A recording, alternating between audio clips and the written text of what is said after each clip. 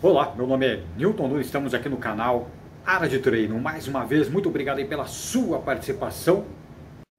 Olá, meu nome é Newton Nunes, estamos aqui no YouTube no canal Área de Treino. Mais uma vez, muito obrigado pela sua participação. E olha que outro assunto importante, interessante, gengibre. Eu vou mostrar para você aqui cinco perigos do gengibre.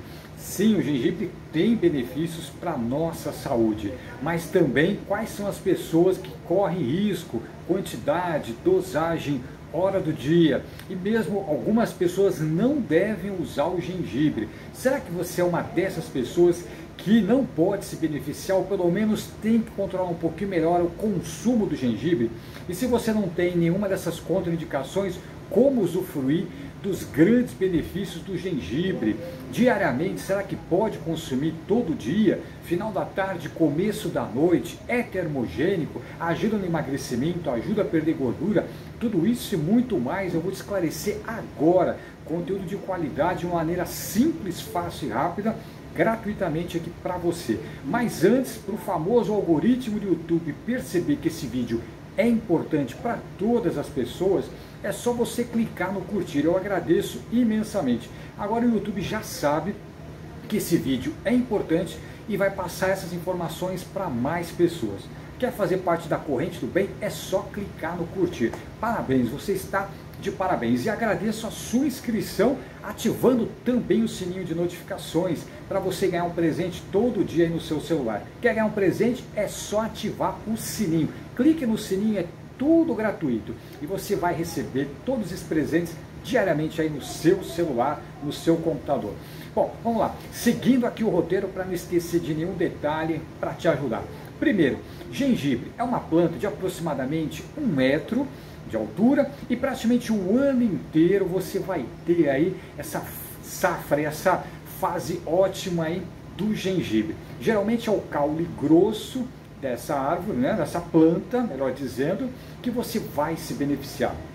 Um dos benefícios do gengibre. Vamos falar primeiro dos benefícios, depois das contraindicações. Bom, primeiro benefício, ajuda sim o sistema imunológico. Quer melhorar sua saúde? Tosse, gripe, resfriado, tudo isso, o gengibre ser consumido diariamente, sim, uma colherzinha de sopa ali de sobremesa já é mais que suficiente, é a dose ideal para você manter sua saúde em dia. É claro, tem que fazer o exercício, alimentação, todo o resto, mas o gengibre vai ajudar e muito.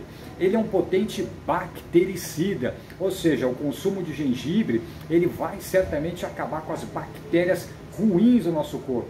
Você deve higienizar, pode triturar, coloca no triturador de cebola, de alho, coloca o gengibre, pode coar, tomar com água, um copo d'água, coloca uma colher aí de sobremesa, triture, misture com água gelada e, e tome, passe no coador. Ou mesmo, se ficar em pequenos pedacinhos só do gengibre, você pode mastigar ali com água, tomando e depois engolir.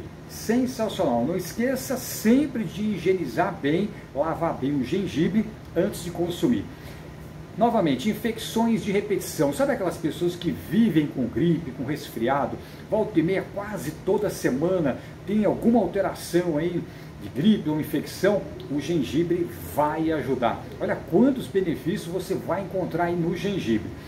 Glicemia alta, insulina, resistência à insulina diminui, para você que quer diminuir a diabetes, sua glicemia, para você que tem na família muitos dos seus parentes diabéticos com resistência à insulina, consuma gengibre. Ele vai atrasar o aparecimento aí da diabetes, da resistência à insulina, evita picos de glicemia e insulina e o nosso pâncreas vai agradecer.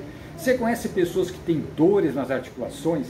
Olha que excelente! O gengibre diminui as dores em ombros, cotovelos, joelhos, tornozelo, enfim, o gengibre é um potente, é, uma potente planta que vai sim diminuir dores articulares. Quem tem artrite, artrose, fibromialgia, conhece alguém que tem fibromialgia? O gengibre diminui os sintomas da fibromialgia. Olha que interessante usar o gengibre, um alimento, uma planta totalmente natural que vai fazer bem para a nossa saúde alterações menstruais, TPM, essa tensão pré-menstrual. As mulheres que têm essa TPM vai certamente minimizar os sintomas de TPM. Você tem náusea por fazer quimioterapia? É, olha que interessante, a pessoa está fazendo quimioterapia e muitas vezes pós-tratamento, entre as sessões, pode ter um pouco de desconforto, de náusea. O gengibre diminui as náuseas para você que faz ou para você que conhece, né, pessoas que fazem quimioterapia. Olha quantos benefícios do gengibre. Mas e agora, coerente ao título, quais são os cinco perigos do gengibre? Parece que é tudo bom, tudo bem o gengibre? Calma, vou te explicar agora rapidamente, de maneira simples e fácil, quais são as contraindicações, quem não deve consumir ou consumir muito pouco, quase nada, o gengibre. O gengibre é rico em salicilato. Já ouviu falar em salicilato? É parecido com o que tem no AS, nesses medicamentos anticoagulantes. Então olha que interessante. Pessoa, por exemplo, que vai para uma cirurgia duas semanas antes, os médicos pedem para não usar nenhum tipo de anticoagulante ou seguir normas da cirurgia. Entre outras coisas, esses medicamentos que afetam coagulação têm que ser muito bem observados pela equipe médica. E muitas vezes se recomenda cortar, não se usar o gengibre 15, 20 dias antes de uma cirurgia. O gengibre, claro, pode causar um sangramento mais intenso, mesmo a mulher que está em período de menstruação naqueles dias, evitar o gengibre, para não acentuar esse sangramento. Então, não consumir. Esse é o primeiro perigo. Segundo, gingerol. Você já ouviu falar no gingerol? Está no gengibre capsaicina, que está na pimenta, piperina. Então olha que interessante, são termogênicos sim, mas vão te potencializar fezes, né? mais ácido, cocô mais ácido, infecção no reto, no ânus. Se você já tem essas infecções, alterações no reto e no ânus, tem que tomar cuidado com o gengibre. Pergunte para o seu médico. Quem já tem alguma alteração nas fezes, no intestino, no reto e no ânus, tem que tomar cuidado. Pergunte sempre antes para o seu médico, porque o gengibre pode né, alterar essa situação. Esse é o segundo perigo. Terceiro, você é hipertenso, você é hipertenso, tem problema de pressão arterial, o gengibre pode vasodilatar, aumentar o calibre dos nossos vasos.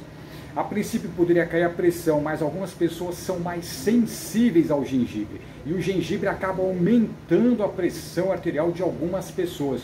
Então, se você não tem o hábito de consumir gengibre, que é uma excelente planta, você precisa saber se você é sensível. Se sua pressão não aumentar demais, você não é sensível ao gengibre. Quarto, gastrite e refluxo. Se você costuma ter gastrite ou refluxo, fale antes com o seu médico antes de usar o gengibre. Aliás, eu já produzi outros vídeos sobre água com limão, melhorando gastrite, refluxo. Você já assistiu esse vídeo aqui no YouTube? Água com limão melhora gastrite, melhora refluxo. Eu vou deixar um link na descrição desse vídeo também com gengibre, com mel, com muitos produtos naturais e saudáveis, se você quiser adquirir e consumir diariamente que vai ajudar na sua saúde. O link está na descrição desse vídeo e também lá no meu Instagram, que é o Nunes Newton. Você tem Instagram? O meu é Nunes Newton, te espero lá também. E finalmente o quinto perigo é que o gengibre é termogênico. Sabe o que é isso? Ele vai acelerar o seu metabolismo.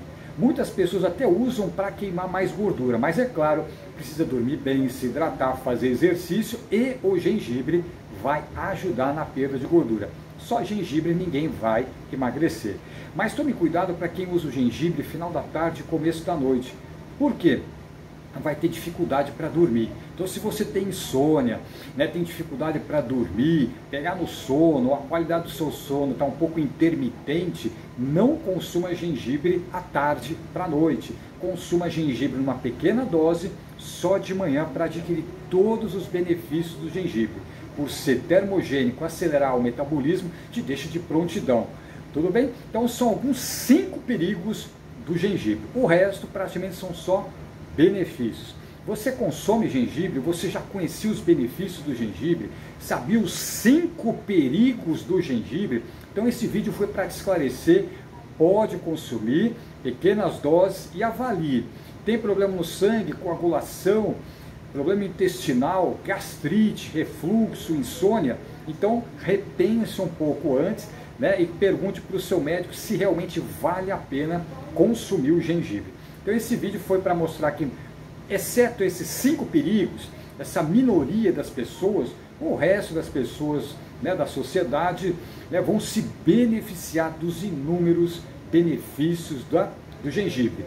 Fibromialgia melhora, dores articulares, enfim, são grandes benefícios aí, melhorando o sistema imunológico, melhorando a nossa saúde. Gengibre é excelente. Só fique atento a esses cinco perigos.